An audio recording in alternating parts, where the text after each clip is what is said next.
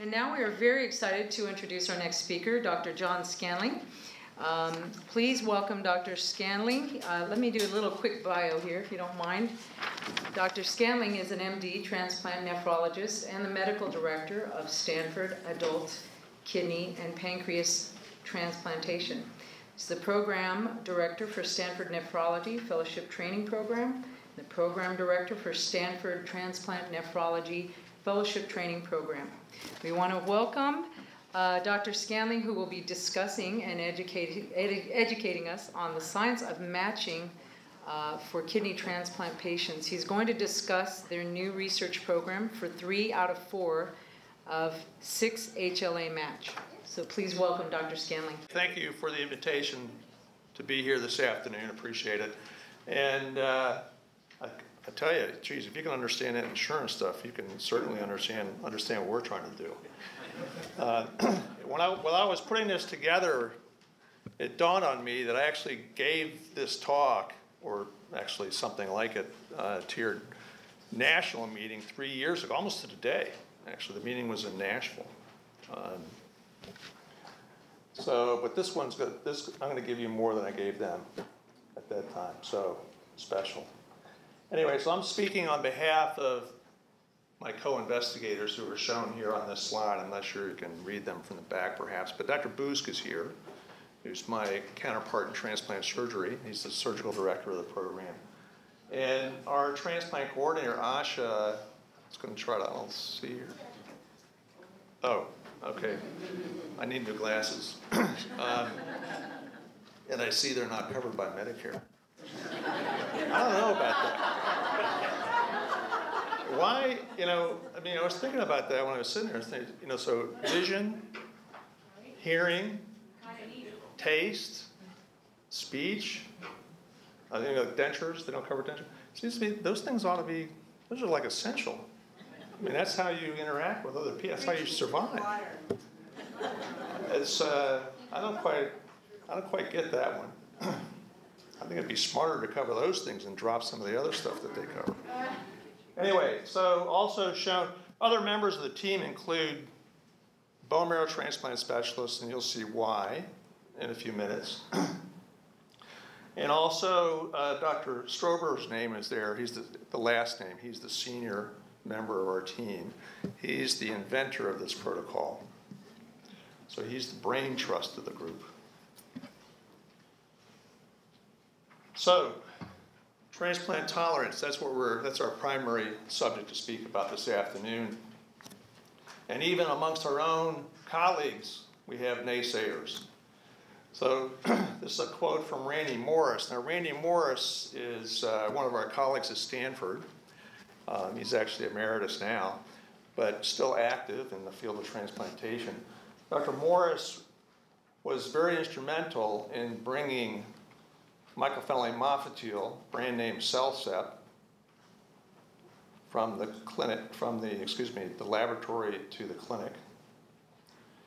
And he was also instrumental in bringing sirolimus, brand name Rapamune, from the laboratory to the clinic. He did a lot of the preclinical work, meaning experimental work in experimental animals, that brought those drugs to transplantation.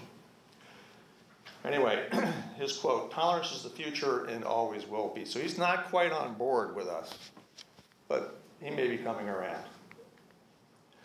So what's, what about kidney transplantation today? So for many, it's the better choice, better than dialysis. But it's just that, it's a choice. It's not mandatory. Transplant is life improving, but it's not life-saving. Now, you may disagree, but it's not life-saving. The alternative is dialysis. You can live on dialysis. You may not like it, but you can live on dialysis. And indeed, only 20% of people on dialysis are listed for transplantation. That's it, one in five.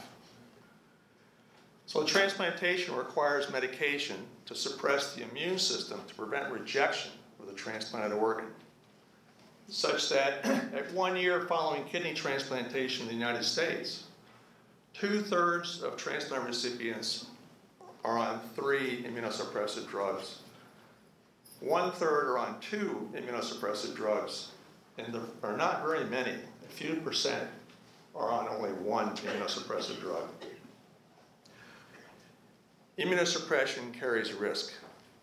So, what is the definition of tolerance? Well, tolerance, as you can read here, is the specific absence of a destructive immune response to a transplanted tissue without immunosuppression. So, what might be the benefits of tolerance? Well, there's a number of freedoms that come with it freedom from rejection of the transplanted organ, freedom from the complications of immunosuppression, which are infection in the short term primarily, but can also be in the long term. Freedom from malignancy, which is typically more of a long term complication of immunosuppression. And then aside from that, it frees you from the immunosuppressive drug side effects, specifically nephrotoxicity, that means toxicity to the kidney. That may seem strange, you know, why are we using drugs like tacrolimus or Prograf is the brand name uh, to prevent rejection if it is harmful to the transplanted organ, kidney in our case. Well, the reality is there's nothing better. It's the cornerstone. There's nothing better than tacrolimus in terms of preventing rejection of the transplanted organ. The other drug side effects, which can be problematic, are diabetes, high blood pressure, and high cholesterol and lipids. So, what are the goals we're aiming at? We're aiming to reduce premature death, reduce premature graft loss, graft meaning the transplanted organ we want to extend the expiration date of the transplanted organ. And ideally, there would be one transplant kidney for life. You'd be transplanted once and that would be it. You would not need to be retransplanted. Remember that the average life expectancy of a kidney from a living donor is about 15 years on average. From a deceased donor, it's about 10 years on average. So, how can we induce this state of tolerance? Well, the way we do it is through the development of chimerism. And the definition of chimerism is the presence of foreign, meaning donor, blood cells in the recipient. And where does the word chimerism come from? It comes from this being, this, I guess it's not actually a being because it's mythical, but this is a chimera. It was a being in Greek mythology and this chimera actually was unearthed in Arezzo in Italy back around 1500 or so. It dates to the, the actual statue itself dates to the, to uh, before you know back to the fourth of this century before Christ. anyway, this mythical figure, as you can see, is made up of three different animals. So lion, head of a goat, tail, a fire-breathing serpent. So that's a chimera. And these two fellows were instrumental in the early investigation into chimerism as the pathway to tolerance. So the first observation of chimerism was an adult fraternal twin, twin cattle by Ray Owen. When he was uh, only in his 20s, as a post, he was a postdoctoral student at that point. And then the first demonstration of actively acquired immune tolerance was in mice, and that was by Medawar and colleagues. And what we learned from their work is that the chimeric immune system recognizes the transplant itself. So if we can develop this chimerism, then we can prevent rejection of the transplanted organ. And you can see they did this work back in the 40s and 50s, so this is, you know, we've been at this now for decades. I'll leave it to you to uh, guess which one was the American. so there are two types of chimerism that we uh, talk about, and you might hear about or read about if you read about tolerance projects and kidney transplantation. The first is complete chimerism, wherein all the blood cells are of donor origin.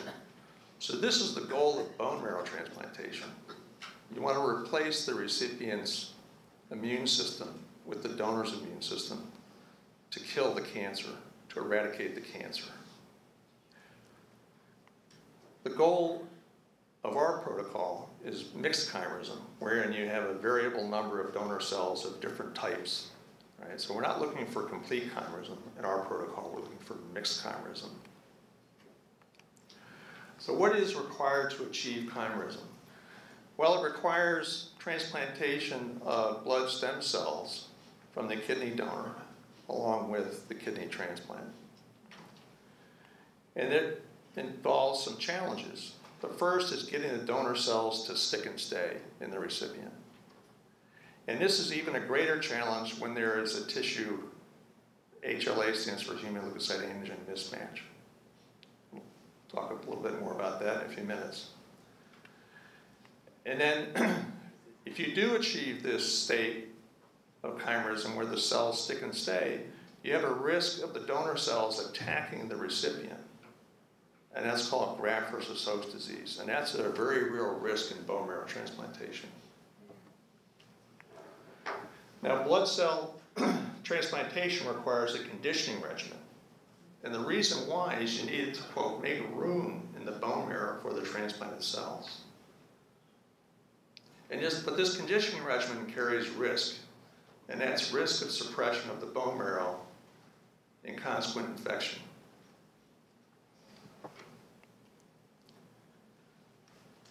Now, looking at uh, these conditioning regimens, or regimens, as I mentioned, there are other tolerance projects at other institutions in the United States, too, essentially.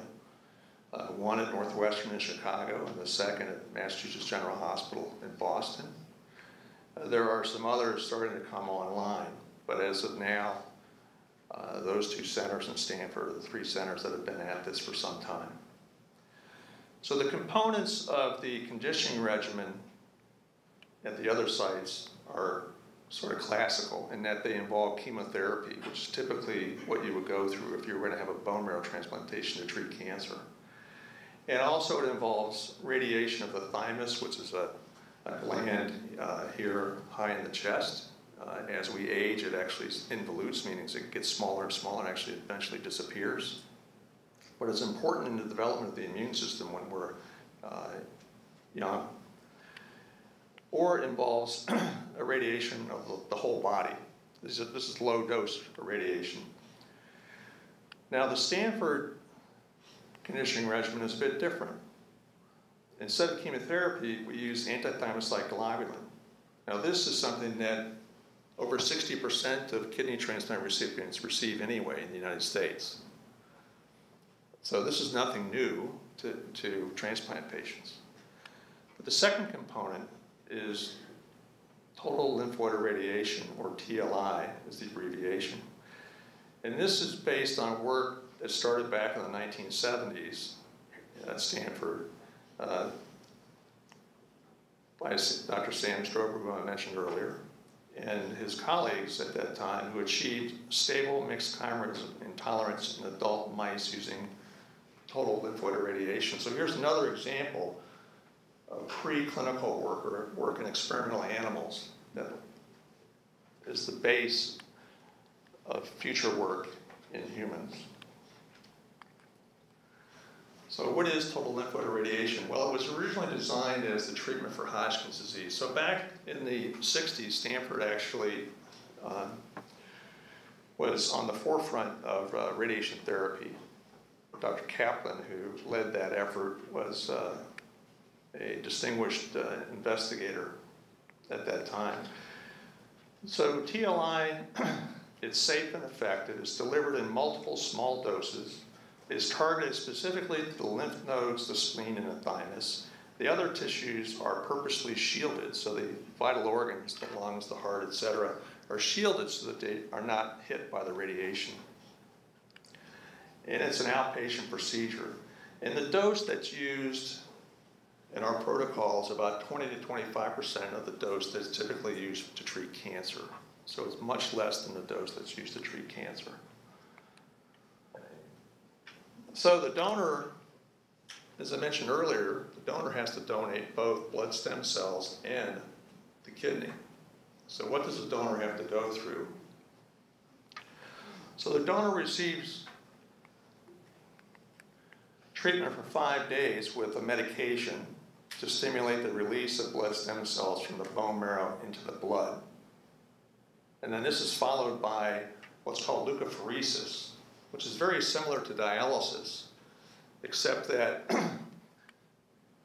the blood stem cells are removed from the circulation, not the waste products. Remember, hemodialysis removes your waste products and excess fluid. This just removes the blood stem cells. It's called leukapheresis because it's primarily white blood cells. And this is done about six weeks or more before the kidney transplant. And I put or more in there because we can actually store these cells almost indefinitely. So turning now to the recipient's procedures. So our practice has been to do the kidney transplant on Monday in this protocol. So the transplant is, is uh, put in place on Monday, and the recipient starts to receive, receive the first dose of this ATG. This is the anti-thymus globulin I mentioned earlier. The little R stands for rabbit because it's raised in rabbits. And receives that uh, in the uh, excuse me in the operating room and continues to on, on, for several hours thereafter. And goes on to finish uh, four more doses during that first week after the kidney transplant. On the second day, Tuesday, the uh, total lymphoid irradiation course is started. Again, it's given in small fractions, 10 fractions over the course of days. And the recipient also starts on conventional immunosuppression, meaning prednisone, mycophenolate mofetil, tacrolimus. And the individual will be on a combination of these various agents for up to a year to 18 months, depending upon the protocol. So after the first week, the, uh, the, the, recipient is uh, discharged on Friday afternoon, goes home, has the weekend off, comes back on Monday, and completes the course of the irradiation on an outpatient basis. Monday, Tuesday, Wednesday, two doses on Thursday, one on Thursday morning, one on Thursday afternoon. The fifth dose on uh, Friday morning, and then the cell transplant is uh, it's just a simple transfusion and only takes a number of minutes. Uh, it's done on Friday afternoon. And that cell transplant is made up of the, these CD34 cells, which are the stem cells, and from which all the other cells come. And then also a population of CD3 cells, which are also known as T cells. And you need these cells to actually get these cells to stick and stay. If you don't have these, you don't get these to stick and stay. That's something we learned along the way here. These cells also can be the bad actors. These cells can cause the graft versus host disease. So when we first started, we only gave a very small number of these cells because the last thing we wanted to do was actually cause graft versus host disease in a kidney transplant recipient. We don't think any kidney transplant recipient wants graft versus host disease in the equation of a kidney transplant. So we started out with a very low number, but as time went by, we learned from our bone marrow transplant colleagues that you have to have enough of these cells to get these guys to stick and stay. So we slowly ratcheted this up over time. And it's a slow process because every time we would make an increase, you have to wait and see how it goes. And when I say wait, it means months or even you know a couple years before you see how it goes, and then you move on to the next set of patients. So this is a very slow process. Anyway, if all goes well, the plan is to go on and withdraw the immunosuppression completely if we have this state of stable mixed chimerism for anywhere from 6 to 12 months, depending upon the protocol. There's no evidence of rejection of the transplant kidney, and there's no graft versus host disease. That GVHD is graft versus host disease. So what are we looking for in terms of chimerism? Hopefully you can see this. um, but we're looking for, as I mentioned earlier, mixed chimerism. We're not looking for complete chimerism. If it was complete chimerism, you know, you'd be up here, all the cells would be 100%. But what's shown here is a variety of different immune cells. And on average, they're anywhere from about 50 to 60%. And we're primarily interested in these guys in the green, these granulocytes, and these guys in the blue, the B cells. If we can get cells of that of those types to stick and stay, then odds are very good that this is going to persist over time, this state of mixed chimerism. So there are two clinical trials. The first we started in 2005, and that was the HLA matched or HLA identical trial. It's a living donor trial. The donor must be an HLA identical sibling. I'll tell you more about that in a few minutes. This was essentially our proof of principle trial, meaning if we could not achieve this in this population, this, this chimerism intolerance, if we could not achieve it in this population, we would not be able to achieve it in any other. Because this is the, the bar is lower here for achieving the chimerism and the tolerance. This is now a sponsored multi-center trial in the US, Canada, and I just learned it's actually going to be in Europe as well. Dr. Batty, who's going to speak after me, will tell you more about that trial. That trial is sponsored by Medeor, who is one, is one of your sponsors, or maybe the sponsor of today's session. The goal is complete drug cessation. This trial however, will directly benefit a relatively small number of individuals because not many of us are lucky enough to have an HLA identical donor. An HLA identical donor can only be a sibling donor. Back in the 1990s, about 2,000 of the kidney transplants done a year in the United States were HLA identical. Now it's only about 700. I don't really know the reasons, but I think it probably has to do with the changing demographics, uh, meaning that families are smaller, and, and the, the families that had large citizenships, for example, my, my, I'm one of six, sort of a thing of the past. We don't see a lot of families with that many SIBs any longer. So the HLA mismatch, which we started in 2010, is what we're still working on primarily at Stanford. And it's presently a living donor trial. But this actually can, could be done in deceased donor transplantation as well. And we have a project uh, underway to do that in coming years. The donor in this case is not HLA identical. The donor is HLA mismatched. I've labeled this sort of the utility trial, meaning, you know, what will be the utility of this, of this procedure if we're successful here? This one we'll be able to use in a lot of different populations. As I mentioned, it's a work in progress. And as I mentioned, it's, it's not, uh, it's anything but quick. The ultimate goal is complete drug cessation but we're in a state now where our goal, if we can't get the complete drug cessation, is actually drug minimization, such that the recipient is on one drug instead of two or three drugs. As you saw earlier, not very many, very many people are actually on one drug. And this trial has the promise to benefit, benefit many because it can be used in mismatched individuals. So a little bit about HLA typing.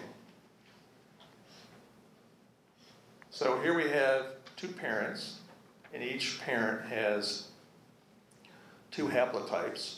All right, haplotype, this is one haplotype, this is a second haplotype in one parent, and this is one and two in the other parent. So when you look at the offspring, with it, with relation to the parent, each child has a 25% chance of being uh, having the uh, a yellow bar here and a red bar. Each child has a chance of having the yellow bar and the blue bar, and one haplotype from each parent. Again, one, the 25% chance of green bar or the red bar, etc. So you can be a complete match with one of your siblings as denoted by the two that are, have the stars. Okay, so those are HLA matched. And they could be actually HLA identical. We do more sophisticated testing now to determine if somebody is a true identical match, which could even include fingerprinting. Or you can see this individual here is a half match with this individual, right? They share this one, so that's a one haplotype match. Or it can be a complete mismatch, so you can see this yellow and red is a complete mismatch from this green and blue over here. And occasionally you can get what's called crossover or recombination of these uh, of the genes that result in these proteins being expressed, and you can actually have a mix, and you can so you can actually be even more different from a sibling.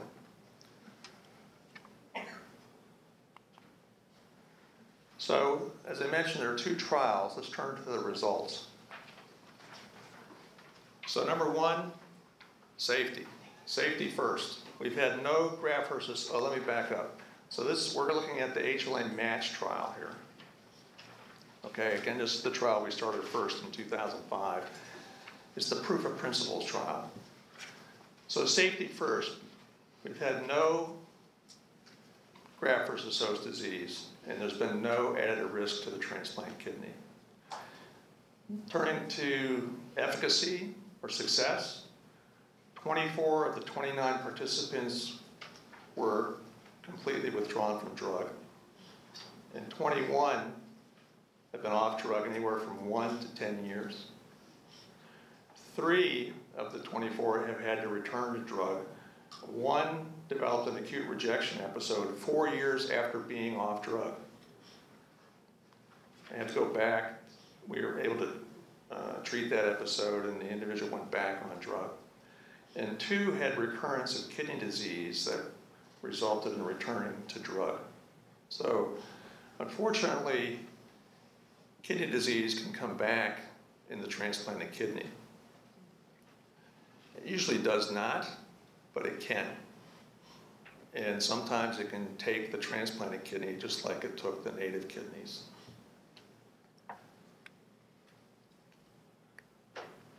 So, so you have some people off drug you might say, okay, so what? Um, well, taking a, a look at the individuals that were off drug at two years after transplantation versus people who were on drug, not in this study, but just our standard conventionally treated patients. Looking at those people at two years after transplantation, the differences between the two groups Fewer people in this group had high blood pressure than in the treated, this conventionally treated individuals. Now, some may say, well, how come they had high blood pressure at all? Well, you have to remember, you still, there's still only one kidney, not two. And you come into transplantation with a long history of chronic kidney disease.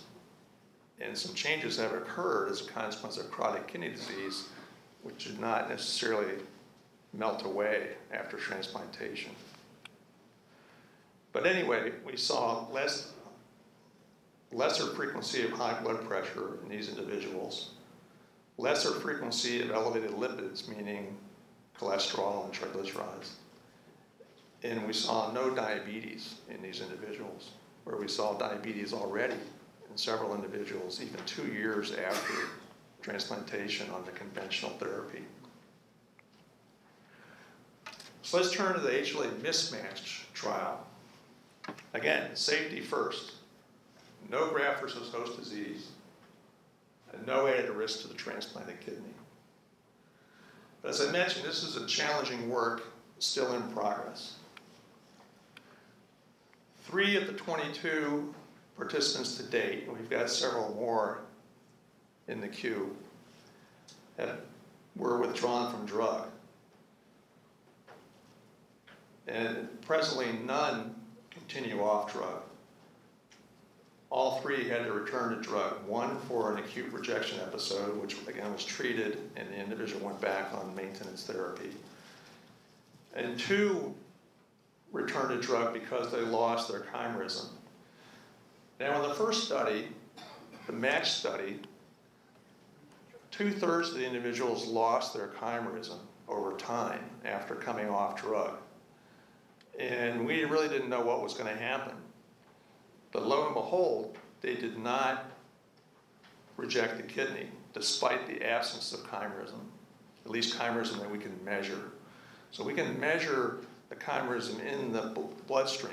So we can take a sample of blood and we can determine in that sample of blood uh, which of the immune cells are from the donor and which are from the recipient.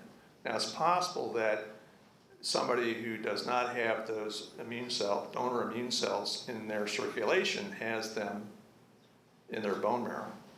But we have not asked any patients to go through a bone marrow aspiration or biopsy to determine whether or not those immune cells were there and not in the circulation.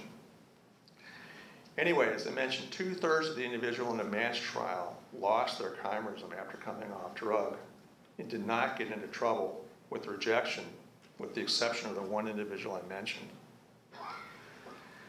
In this trial, on the other hand, we're, we are of the mind that if the individual loses the chimerism, they're going to go on and lose the kidney, or they're going to go on and have a rejection and lose the kidney potentially. So we don't want that to happen. Now, these people are under very close surveillance, so if they do have a rejection, we can treat it and put them back on drug. But that's our current thinking about this, is that if you lose the chimerism, you're going to end up with a rejection.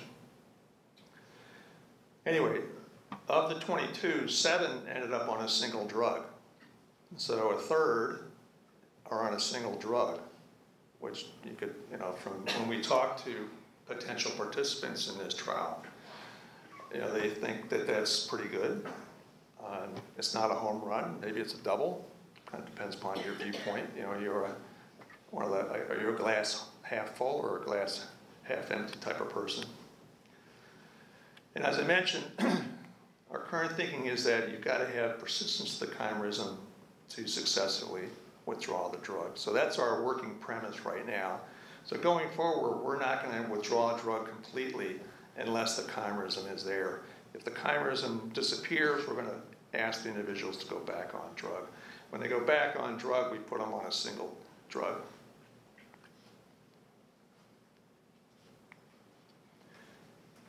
So there are two clinical trials enrolling. The first is the HLA matched, HLA identical trial, and that's sponsored by Medeor. And this is just the, late, the name of the study is the MDR 101, which is Medeor, you know, that's their first trial, so it's, that's why it's 101, I guess. And uh, so if you're interested in, in participating, and so Stanford's a study site for this trial. This is a multi-center trial, which means it's being done at a number of centers across the United States, as I mentioned, Canada, and also Europe. Indeed, there are a couple other centers around the world that have actually done this outside of the trial. They've taken our protocol and have done this. It's been done in Zurich and it's been done in Tel Aviv. Um, so if you're, but we are a study site, and if if you're, as I mentioned earlier, if you're lucky enough to have an HLA identical donor, Asha, who's here, is the study coordinator for that trial, and this is her contact information. Now, the HLA mismatch trial is, you know, our trial, our primary trial here at Stanford. And this is sponsored by the National Institutes of Health and also by the California Institute for Regenerative Medicine. And again, um, our contact person is Asha. So a little more detail on what's required to be uh, a participant in the mismatch trial. You've got to live within a two-hour drive or a two-hour flight of Stanford. You've got to be less than 60 at the years of age at the time of the transplant. You cannot have a kidney disease at high risk for recurrence. It's got to be the first transplant. Subsequent transplants have a higher risk of rejection. And so it's typical that in uh, any trial of new therapies in transplantation, it's restricted to first transplants. You have to have the same blood type as the donor, okay? Not compatible, but the same. So first, that means if the donor is an O, the recipient's got to be an O. You see, a, a donor, an O donor could donate a kidney to anybody. Okay, O is the universal donor, but for the purposes of this trial, the, the recipient has to match the donor. Um, where are we? Oh yeah. So you have to have at least a two HLA match, one of which being a DR match with the donor. This is actually loosened up. We just are now loosening it. We were before restricting this to one haplotype match donors. There can be no what's called donor-specific antibody, meaning that the recipient has antibody directed at the donor's HLA proteins. You cannot have what's called a panel reactive antibody higher than 80%. If you have an antibody level that's higher than 80%, you're what's, you're uh, what's called highly sensitized, and there's a higher risk of rejection in that instance. You have to have had um, essentially mononucleosis that's what Epstein-Barr virus is. Most of us have mononucleosis as part of growing up. You don't even realize you've had the infection because generally speaking, it's just like a cold. You don't get the full-blown mononucleosis. Not many people get the full-blown mononucleosis. So 80% of the adult population in the United States has antibody to this virus. And that means that at some point in their lifetime, they were infected by the virus. And so you've got to be antibody positive unless the donor is antibody negative, in which case um, you, there's no risk of transmission of this virus. So if the donor were EBV antibody positive and the recipient were EBV antibody negative, there'd be risk of transmission of this virus from the donor to the recipient. And so you might say, so what? Well, if you're on immunosuppression, it can be a lot more than a cold that you get with this infection you can actually get something that's called post-transplant lymphoproliferative disorder. And, and you better stay away from that. The risk of that after transplantation is very low. It's less than 1%, but it happens. And then you find, finally, you've got to have medical insurance that'll cover your transplantation at Stanford. Not all payers um, will allow patients to uh, come to Stanford for transplantation. So donor-specific antibody, let's see if this works. Yeah, here we go. So what's shown here are these different HLA types. So this, here's a kidney. And you know, normally a kidney is about the size of a fist. Anyway, these things are microscopic, they're not that big. So, so this individual has, uh, you know, a variety of uh, HLA antigens on here, and shown here is an antibody directed at this antigen right here, A2. So the problem is if you have one of these guys going in to the transplant, it can be bad news. And then after transplant, you can actually develop more antibodies if your immunosuppression is insufficient. And then so th these we call de novo because they came after the transplant. So antibody-mediated rejection is not good. Here you have a happy kidney. It's got the HLA-2 antigen. But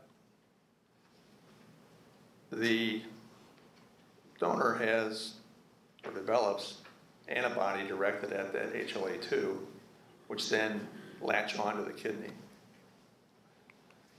And then you get activation of the immune system.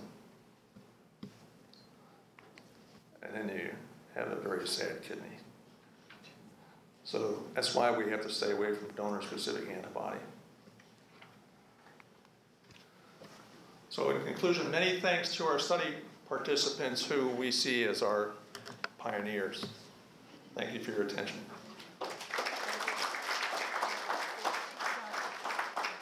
Does anyone have a question? Right, here we go.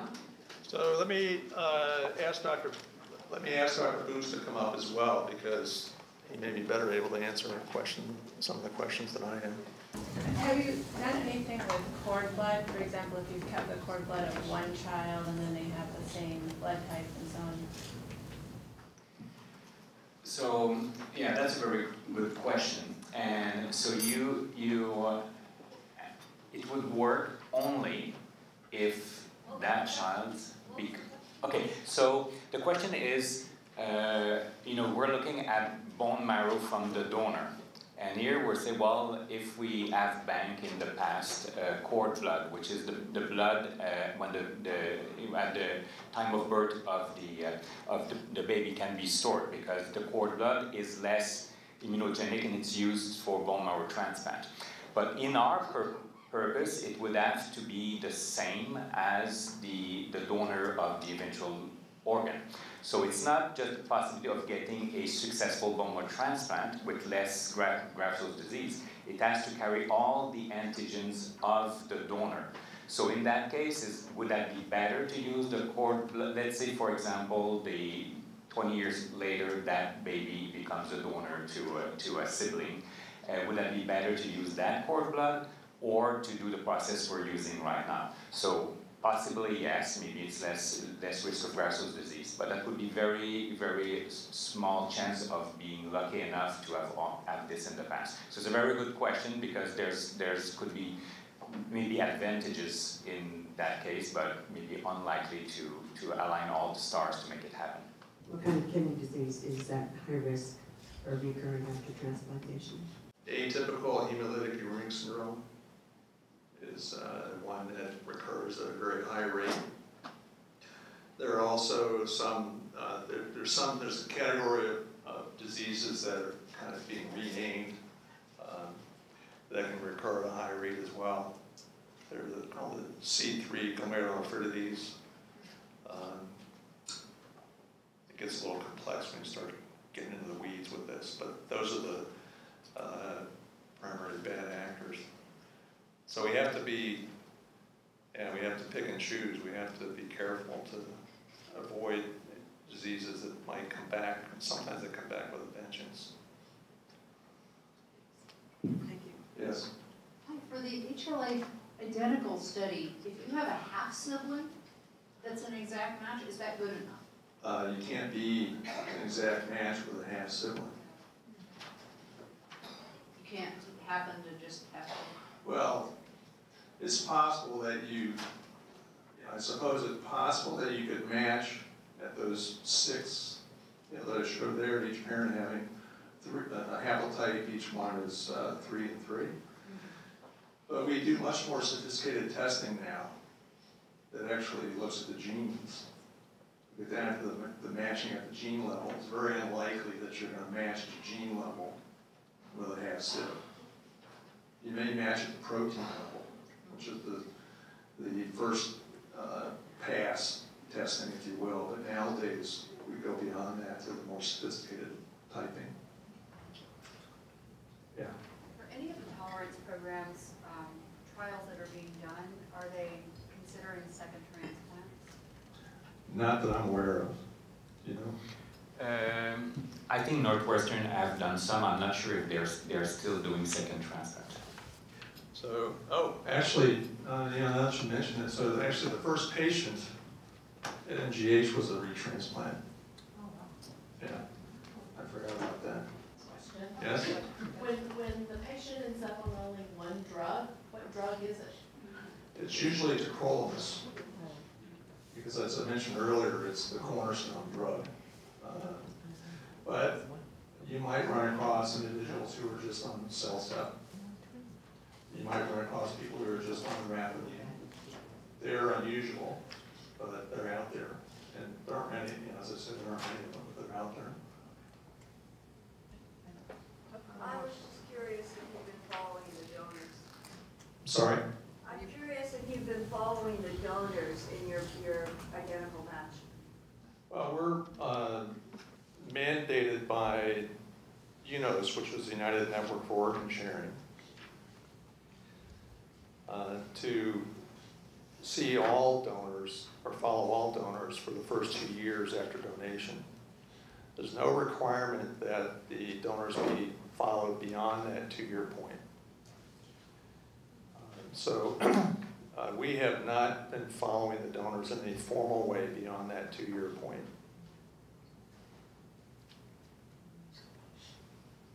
Yes? Um, where do you get the stem cells? I mean, how do you cultivate them and, uh, have you had any opposition to this or anything? So the, uh, the donor receives injections of a medication that causes the bone marrow to release the stem cells from the bone marrow into the circulation. And that's given for four or five days, typically five doses. And then the, that, the donor's attached to a machine, it looks like a dial, a hemodialysis machine. Uh, and uh, the blood is, comes out through the machine, which then removes the stem cells from the circulation, returns everything else to the donor.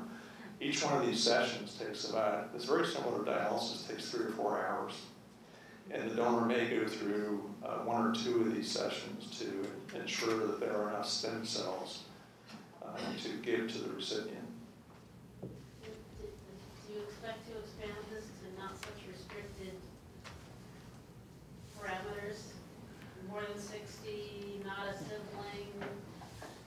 Um, We're probably not gonna change, we've had conversations about it changing the, uh, the age up to sixty-five, but we're not there yet. We'll see. As far as, uh, not a sibling, yes, we're there now, you don't have to be a sibling. This is again in in the mismatch trial. In Yes. the mismatch trial, uh, what what's gonna be different, uh, in this next phase than was in the previous phase of how you're conducting the study? Well, the, uh, one is what we just talked about, uh, in that it doesn't have to be a sibling half match uh, donor. It can be a, uh, you know, unrelated donor who's not a half match, but has to be at least a two out of a six match. And again, that matching is at the, see, the sophisticated level, where we actually do DNA typing, or gene typing. That's the major thing from the recipient eligibility. We're doing a, a couple of other things in terms of trying to improve the possibility of the cells sticking and staying. So we've been focusing on enhancing the cell dose that's given to the recipient. We've also been focusing on adjusting the conditioning regimen. Remember, the conditioning regimen is the ATG and the TLI, adjusting that to try to enhance the possibility of the cells sticking and staying, because we're trying to get the chimerism to last indefinitely. We're not there yet in the mismatch trial. One more Yeah. follow-up question. How likely is the graft versus host disease as you try to match a mismatched donor Well. Yeah, so, uh, good question.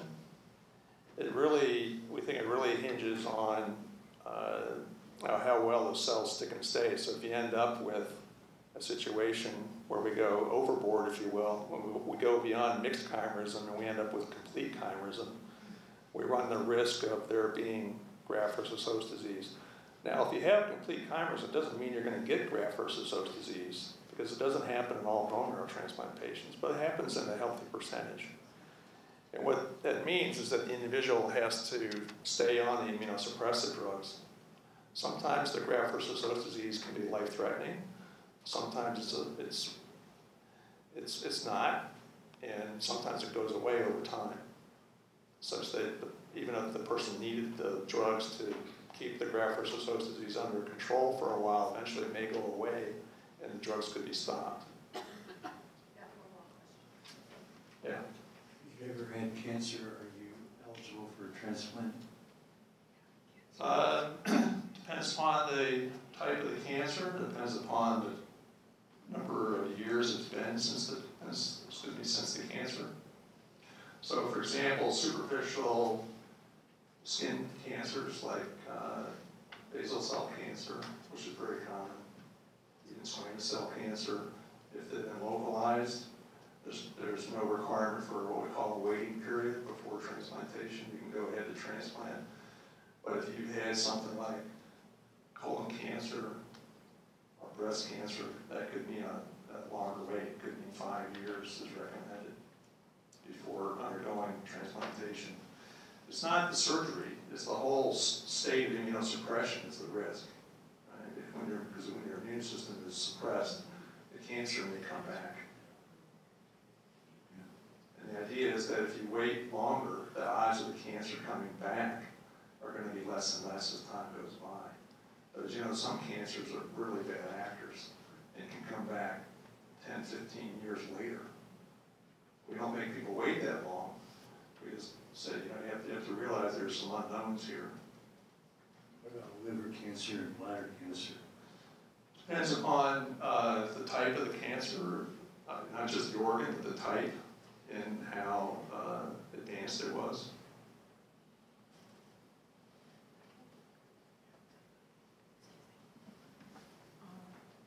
Do we want to take one more question and then we'll go ahead and move on? Dr. Ratty, who's waiting for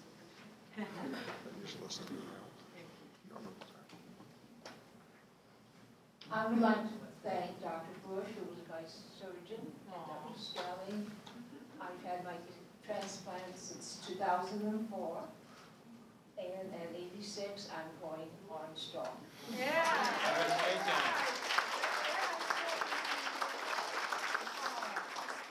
Good to hear. That's a great note to end on. Thank you, doctors. Thank you so much. Thank you for sharing that. It's wonderful.